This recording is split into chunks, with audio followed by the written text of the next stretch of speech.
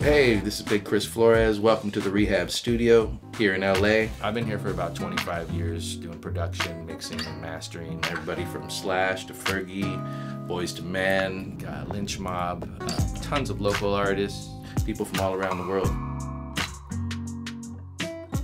I'm old enough to know the musicality where you can get a live musician vibe, but I'm young enough to know the tricks along with the younger generation.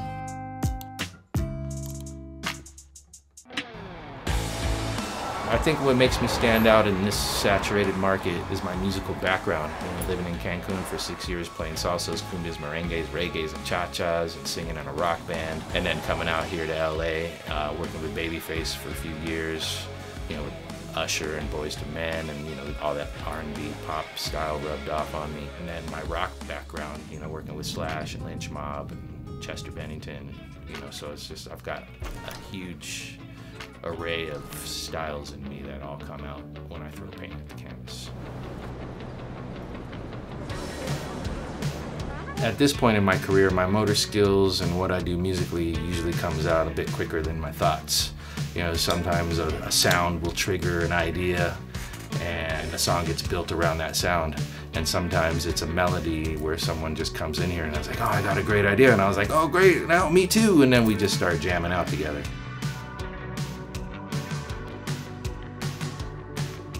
So ever since I was 13 or 14, I've always wanted to be a musician. I've always wanted to be a guitar player, something in music. You know, I watched my dad play. It was never a second guess. It's just in my blood. There was no choice.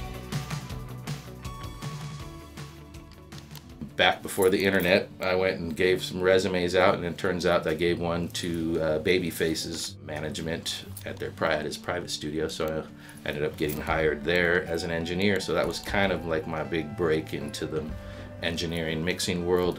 And Cedric uh, came over to my house one day to make a long story short. He said, Can you do reggae? I said, Sure. He's like, Okay, cool. I need a reggae by tomorrow. And next thing you know, they call me from Paramount Pictures saying, yeah, we're going to use this song. So they licensed this song from me. They put it in the movie. And Cedric was like, wow, you did that with eight tracks. Let's see what you can do with the whole Pro Tools setup, a whole studio. So he took me to Guitar Center and spent $12,000 on me one day and said, just pay me back when you can. Money is second to the feeling of writing a great song. I usually see a lot of excitement from people and and and dreams and and plans that they're gonna do with their final mix because they just love it so much. You know, they're like, oh, now I gotta do this video, and they're so excited.